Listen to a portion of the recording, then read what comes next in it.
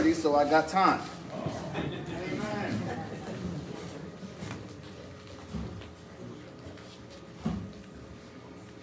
I want to do a three-part series starting today on something that I think every believer ought to know.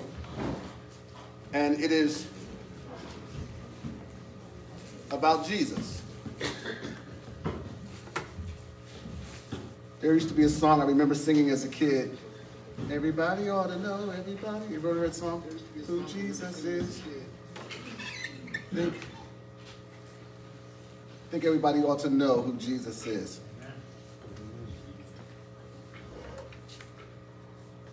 John 14, 6. And let me share with you as we get the scripture ready. John, one of the beloved disciples, he remembers this conversation as Jesus was preparing to go to the grave. He remembers being asked to Jesus, How will we know the way? We don't know where you're going. How are we going to get there? And Jesus responds in 14:6 by saying simply, I am the way, the truth, and the life.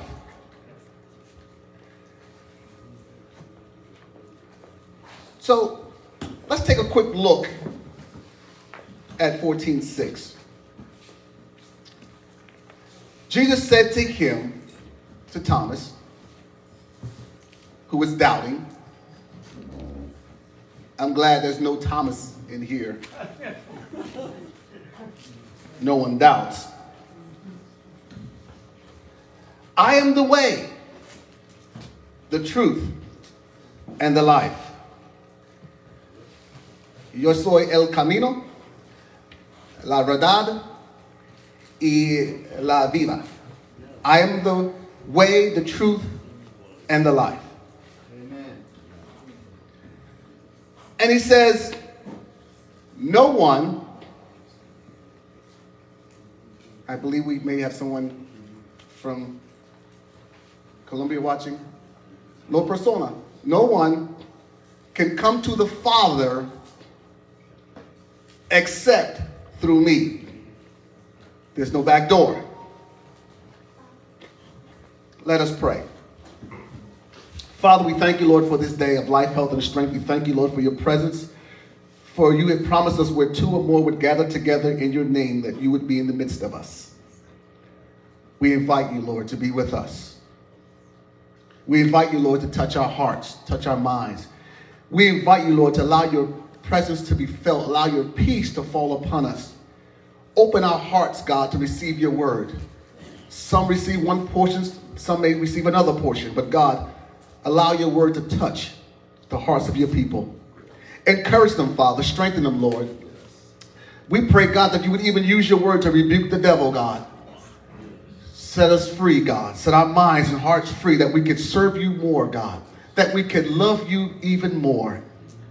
In Jesus' name, amen. amen. Keep the way. The way. The way. No man in the history of the world ever said that he himself is the way.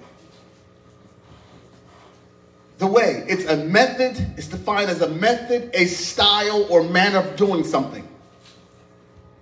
It's also defined as a road, a track, a path, or a street for traveling along. It's also defined as parts into which something divides or is divided. A method, style, or manner of doing something. Jesus gave examples of his way in three areas. His walk. What Jesus did, his walk, what Jesus did. He had compassion on repentant sinners. I better say amen on that myself. Amen John. He had compassion on repented sinners. Let me sidebar for a second. Here's where I get myself in trouble. And John is not here to walk me to my car, so I, I got Caleb. He's my bodyguard. He got me. Caleb got me. Someone said to me the other day that Jesus dined at the house of sinners. I said, could you show me that scripture? Because I've seemed to miss that one. I believe he dined at the house of repentant sinners. Young folks told me one time, said, don't, don't get it twisted. It's easy to get it twisted. What Jesus did, he performed miracles. He did the Father's will. He washed his dirty, nasty feet of the disciples. Amen. Feet probably smell like corn chips and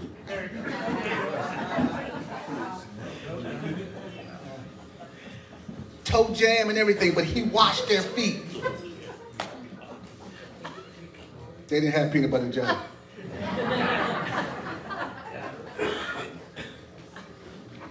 he supplied joy at a boring wedding. That was some good wine.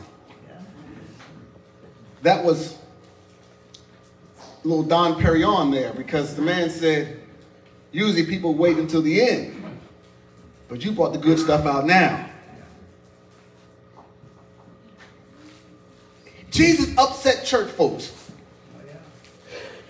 I've told you many times there's a difference between church folks and believers. There's a difference.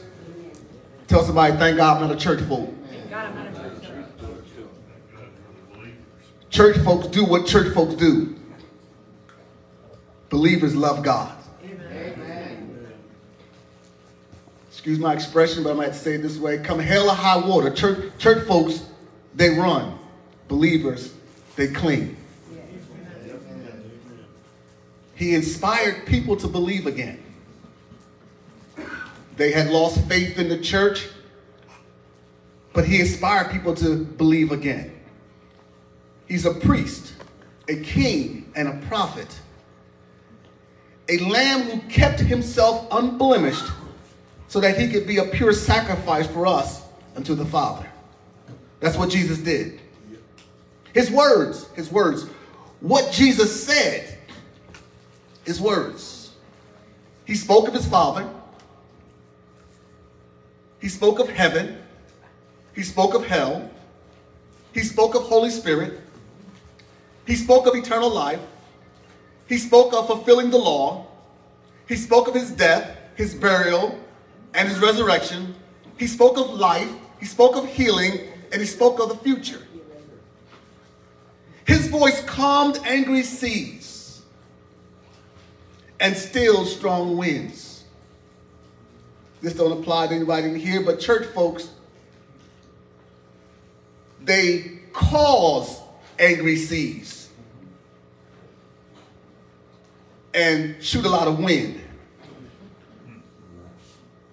His voice raised the dead. His voice made sinners realize that God loved them. His voice made demons fear.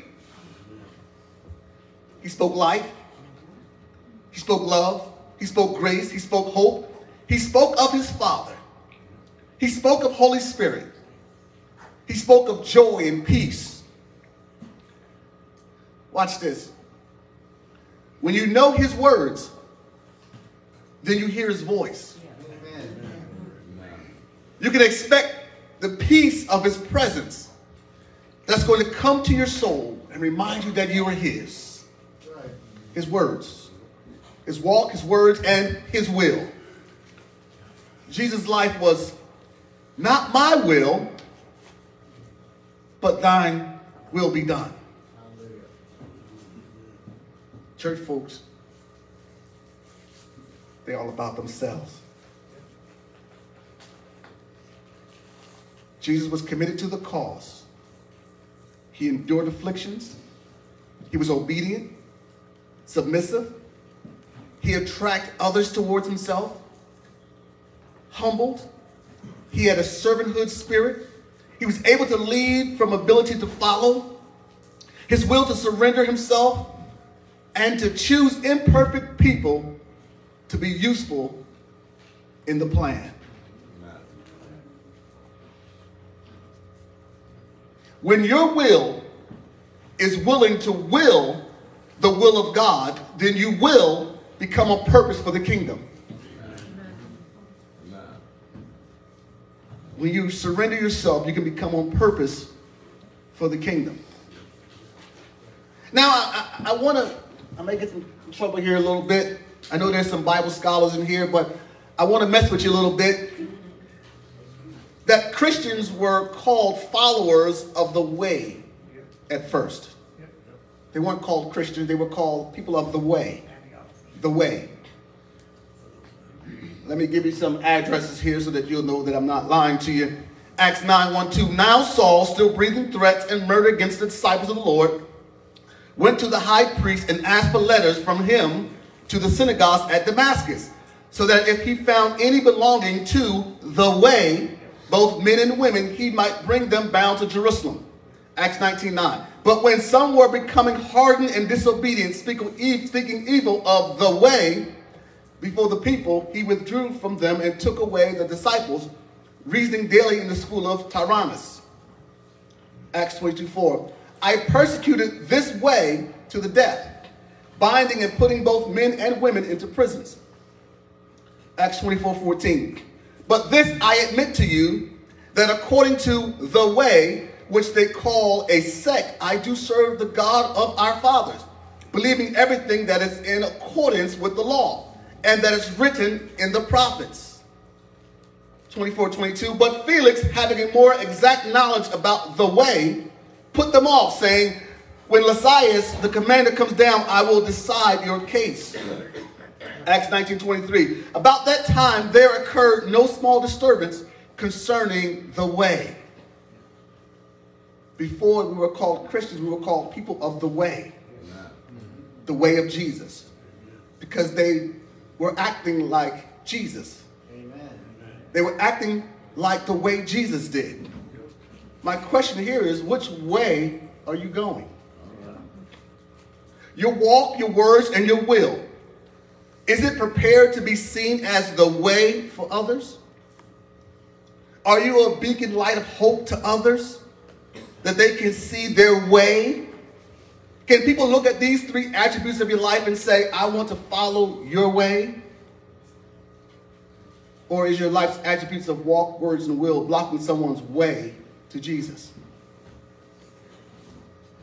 Listen to what people said about Jesus while he was alive. Luke 24, 32. And they said to one another, Did not our heart burn within us while he talked with us on the road and while he opened the scripture to us? Are people happy to see you enter or happier when you exit? What are people saying about you? What conclusions do you think they get? Is your life consistent with a direction that points people to Jesus? That they will follow your way, even when the way is hard at times?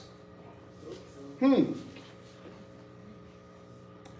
Here's where I get myself in extra trouble here.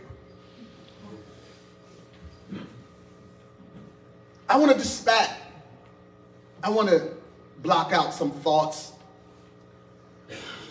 about all the wonderful things that Jesus said and the truth of some things he said. Now, someone said to me recently, God knows my heart. He knows my heart. He does. He does. Yes, he does. Listen to the words of this Jesus the Christ. Not the Jesus that we create in our minds, but the Jesus, the Son of the living God. Watch his words in Matthew 10 32. Jesus said, Whosoever therefore shall confess me before men, him will I confess also before my Father which is in heaven. But whosoever shall deny me before men, him will I also deny before my Father which is in heaven. That's easy. That's easy to swallow, isn't it? You hear people say, I will never deny him. Oh, yes. Watch this part right here. The same Jesus, the same Son of God, says, Think not that I've come to send peace on earth.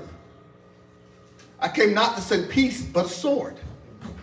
For I've come to set a man at variance against his father, and the daughter against her mother, and the daughter-in-law against her mother-in-law. And a man's foes shall be they of his own household. He that loveth father or mother more than me is not worthy of me. And he that loveth son or daughter more than me is not worthy of me. Same Jesus. Matthew 18, 19 to 22. A certain scribe came and said unto him, Master, I will follow thee whithersoever thou goest. That sounds so good. Lord, I'm going to follow you wherever you go, Lord. There was a song in the 90s, a gospel song, a Christian song. It was made by about five, six different artists back then. And the title was simply, I'll Go. And people were singing it all over the place. I'll go, I'll go. And you would hear them in churches. Lord, I'll do what you tell me to do. Lord, I'll go when you tell me to go. Lord, I'll go. And Jesus said unto them, The foxes have holes and the birds of the air have nests, but the Son of Man have not where to lay his head. 21. And another of his disciples said unto him, Lord, let me go back because I think you missed the key word. And another of his disciples said unto him, Lord, Suffer me first to go and bury my father. But Jesus said unto him, Follow me, and let the dead bury their dead. Same Jesus. Same Jesus. He didn't change. Just some people's thoughts of him changed. Some people go blind to the full scripture. They take parts out of it. Matthew 15, 24 to 28. But he answered and said, I'm not sent but unto the lost sheep of the house of Israel. He's talking to a woman who's begging for help.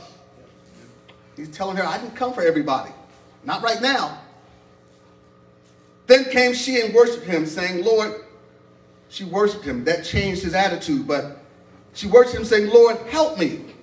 But he answered and said, It is not meet to take the children's bread and cast it to dogs. Same Jesus. And she said, Truth, Lord, yet the dogs eat of the crumbs which fall from their master's table. Then said Jesus, answering, said unto her, O woman, great is thy faith. Be it unto thee even as thou wilt. And her daughter was made whole from that very hour. Amen. Let me throw one more out there. Luke 17, 32 30, 36. Jesus says, remember Lot's wife? Remember Lot's wife? He said, whosoever shall seek to save his life shall lose it. And whosoever shall lose his life shall preserve it. I tell you, in that night there shall be two men in one bed. The one shall be taken and the other shall be left. Just for the sake of reading and understanding, he's talking about two people in one place. He's not talking about what modern modern thinking is. He's talking about two people in one place. How do we know that? Because he says right here, two, two women shall be grinding together. The one shall be taken and the other left. Two men shall be in the field. The one shall be taken and the other left. Same Jesus. Let me prepare for closing. I'm not going to give you the number right. I see the way he looked at me. People of the way forgive. People of the way forgive. Church folks don't. People of the way forgive. The people of the way were able to forgive because Jesus forgave. Father, forgive them. One of the examples is Deacon Stephen, who forgave in Acts 7.60. He forgave while he was being killed. He forgave while he's being killed. But let me give you this key on forgiveness. Forgiveness is not about keeping score. It's about losing count.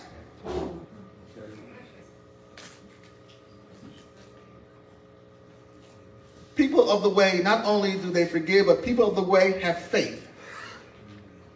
They have faith in whom Jesus is. He's the Son of the living God. They have faith in what they're called to do. Go make disciples while they give the gospel to the world. He says, go. He didn't say sit still. He says, go. And what God has in store for them a crown of life. When this life is over, no matter how it ends for them, people of the way had faith in that crown.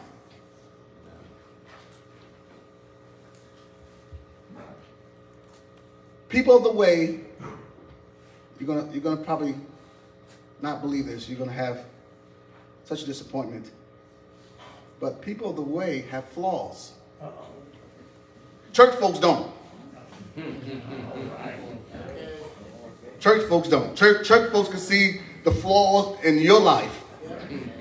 They can point them out. In fact, they can sit down with a detective and give details of your flaws if they needed to. Church folks don't have flaws. People of the way have flaws. The men who were fearful, they were afraid of Saul. They were men who lacked understanding. They were men who made mistakes. Men who went the wrong direction. They were men who depended on the Holy Spirit for everything. The flaws of a servant is that he's not in control, but that the servant serves. Which make the strength of the servant is that the servant serves. If you're going to be a servant, serve. I've never seen a, a servant in a restaurant decide I'm not bringing you your food. You ordered it. In fact, I don't like you. I'm not bringing you your food.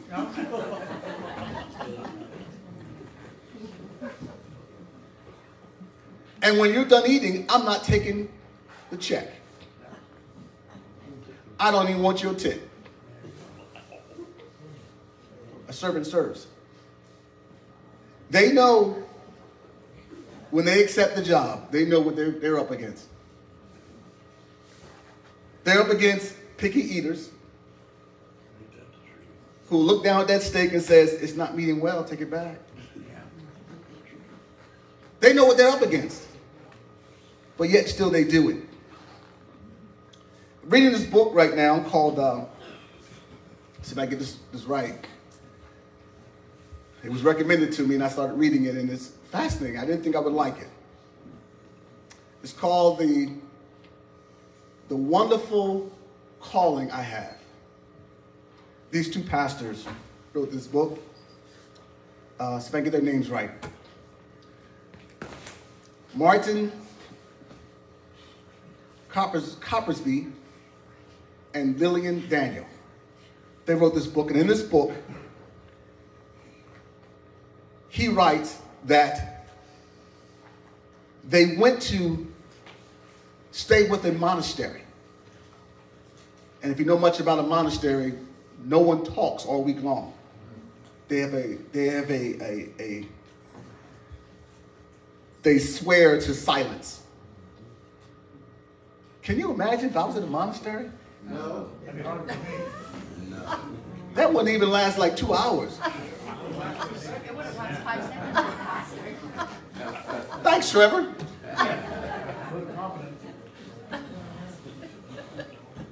You know, when I was in the military, when they said be quiet, you know I got in trouble.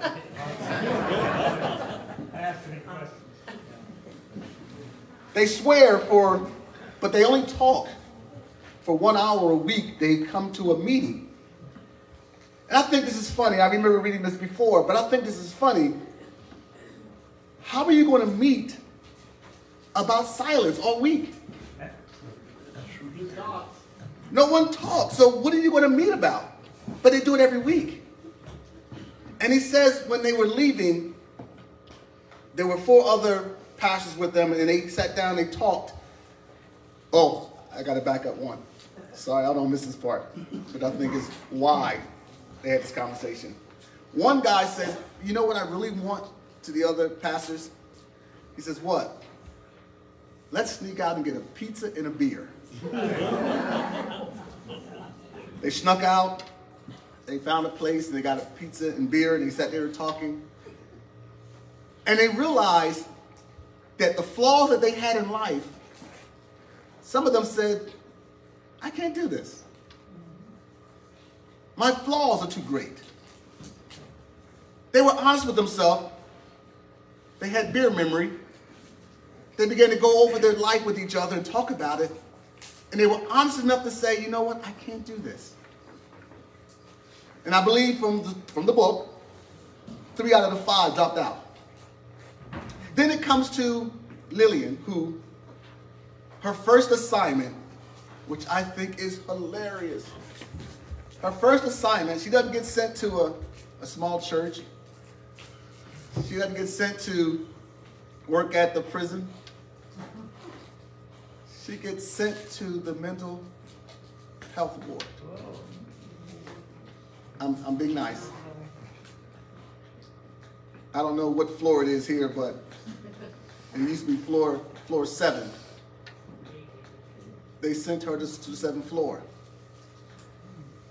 And she, she tells a story that there was a lady who says that when she got to preach, and she was telling them that she's just a student, and they said to her, Why are you not a pastor? She says, Well, I'm, I'm in training. So one lady says to her, Can we stop this? And can we just pray to Princess Grace? And she says, We can pray for Princess Grace, but we can't pray to Princess Grace. She says, No, I think we need to pray to Princess Grace. And they spent an hour, she was young, she spent an hour going back and forth with this woman about praying to Princess Grace. How many of you would have said from the very beginning, this conversation has to end right here? Uh-huh. Something I learned years ago, and y'all gonna get me for this one. Larry, this is free one, Larry. This is free. Someone told me years ago, never argue with a fool. Because people watching won't know who is who. He's arguing, she's arguing with this woman about praying to Princess Grace. So she goes back to her superior and says to, to her superior, I want to wear a collar. And she says, Well, wearing a collar won't make you a pastor. She says, No, they'll respect me more if I wear a collar. So she says, Okay, go out and get you a clergy collar. She says, I know it's, I know it's, it's, it's, it's not right to put on a collar when you didn't earn it yet, but I want to wear a collar. She goes out, she gets the collar, she comes back, and she runs into Princess Grace lady again. And she says to her, Are you a pastor yet? She says, No, not yet. Princess Grace lady says to her, Then why are you wearing a collar? The opposition that you are going to face while you're serving. If we took some time and, and asked all of you about all the years and time of your service, I bet you have some stories. I bet you could be like me sometimes and says, man, I just need some brown liquor I'll be all right for the night. At least I'm honest.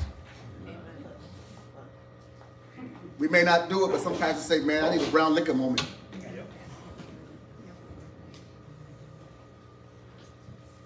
If you, my dad would say to me, if you look in the mirror and say to the mirror, how would I pastor a person like you?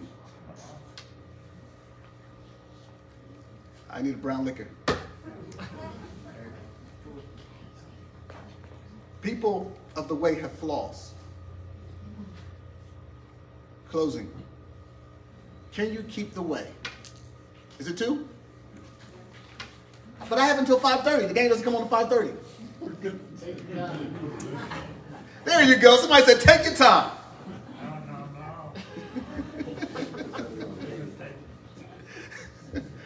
Closing. Can you keep the way? Jesus said, I'm the way. Can you keep the way? Even in difficult moments with difficult crowds. Just imagine a comedian trying to do comedy and everyone looks like they're sucking on a lemon. Can you keep the way? When things are not favorable for you, can you keep the way? I'm not talking about being a churchgoer. I'm not talking about church folks. Can you keep the way? Not easy. Can you, can you surrender to Jesus even when you don't understand? Can you surrender to Holy Spirit even when you don't feel like it?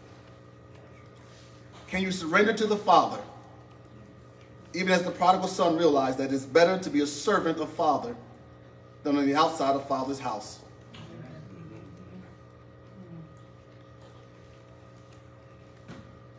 If you're not going to be Christ-like, then keep the way. Jesus said, I am the way, keep his way.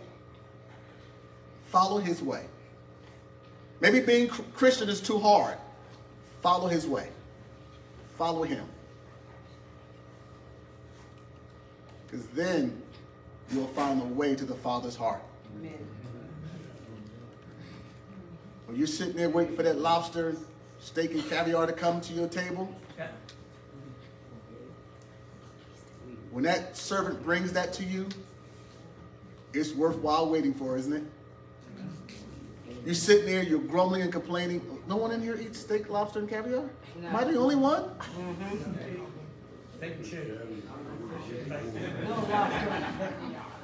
Am I, Pastor Bailey, am I the only one? You're the only one. When you're waiting for that catfish, am I reaching still? Reaching? Now preach. you know, when you order that food and you're waiting for it and you see everybody else get theirs and you're smelling it smells so good and it makes you get a little upset because you're like, where's mine? You're watching your watch. And, am, am I the only one who do that? The guy coming after you, he's already served. Everybody's served but you and yeah. your stomach is growling and you're smelling it and, and you just want to go over and get somebody a piece of chicken off their plate. Yeah. Even when you're first in line and everyone behind you got served first. Absolutely. Let me interpret it for y'all. since y'all missed her interpretation. She said amen.